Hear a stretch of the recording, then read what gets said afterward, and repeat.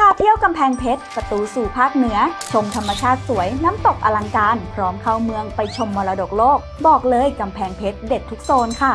เริ่มกันที่อุทยานแห่งชาติแม่วง ครอบคลุมพื้นที่ 2 จังหวัด คือกำแพงเพชรและนครสวรรค์เป็นหนึ่งในผืนป่าตะวันตกที่มีความสมบูรณ์มากๆ ไฮไลท์ของที่นี่ก็คือช่องเย็น จุดกลางเต็นท์ที่มีอากาศเย็นสบายตลอดทั้งปี โดยความที่พื้นที่อยู่ในบริเวณช่องเขาทำให้มีลมพัดผ่านอยู่ตลอดเวลา เลยเป็นที่มาของชื่อช่องเย็นนั่นเองค่ะ อีกจุดที่น่าสนใจในอุทยานนั้นก็คือ ยอดเขาโมโกจู พิกัดของสายเดินป่าสุดโหด กับระยะทางเดินเท้าสุดท้าทายที่จะได้ทดสอบความอึดความแกร่งของร่างกายและจิตใจ รับประกันความเหนื่อยยากแต่คุ้มค่าแน่นอน เมื่อได้ขึ้นมาเห็นวิวบนนี้อ้าวแต่ถ้าโหดไปแวะโมโกจูขนาดย่อมๆ หรือที่เรียกว่าโมโกจูน้อยก็ได้ค่ะ เป็นจุดชมวิวที่อยู่บนถนนลอยฟ้า ซึ่งเป็นเส้นทางที่จะไปช่องเย็นนั่นเอง โดยโมโกจูน้อยเป็นเนินเขาขนาดเล็ก ๆ ที่สามารถเดินขึ้นไปถ่ายรูปสวยๆได้เลย ฉากหลังนี่ขุนเขาอลังการมาก ไปต่อกันที่อุทยานแห่งชาติคลองลาน เป็นป่าต้นน้ำที่มีแหล่งท่องเที่ยวเป็นน้ำตกชื่อดังอย่างน้ำตกคลองลาน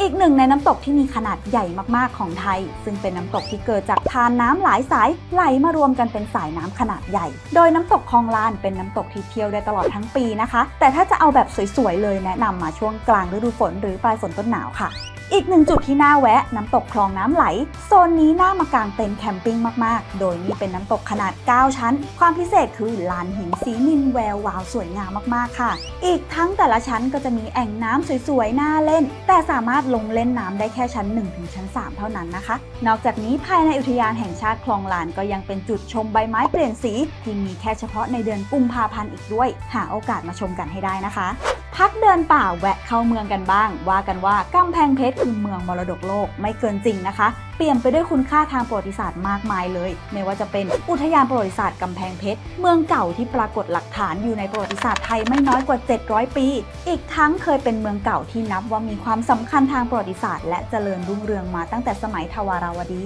ภายในอุทยานมีโบราณสถานที่สวยงามมากมาย ทั้งวัดช้างรอบ วัดพระแก้ววัดพระศรีอิริยาบถ โดยยูเนสโกได้ประกาศให้อุทยานประวัติศาสตร์กำแพงเพชร เป็นหนึ่งในแหล่งมรดกโลก ร่วมกับอุทยานประวัติศาสตร์สุโขทัยและศรีสชนาลัย ภายใต้ชื่อว่าเมืองประวัติศาสตร์สุโขทัยและเมืองบริวารค่ะ จากนั้นไปไหว้พระกันต่อที่วัดพระบรมธาตุนครชุม วัดเก่าแก่ที่อยู่คู่เมืองกำแพงเพชรมาอย่างยาวนาน โดดเด่นด้วยพระบรมธาตุนครชุม มหาเจดีย์สีทองทรงสูงใหญ่สวยงามมากๆค่ะ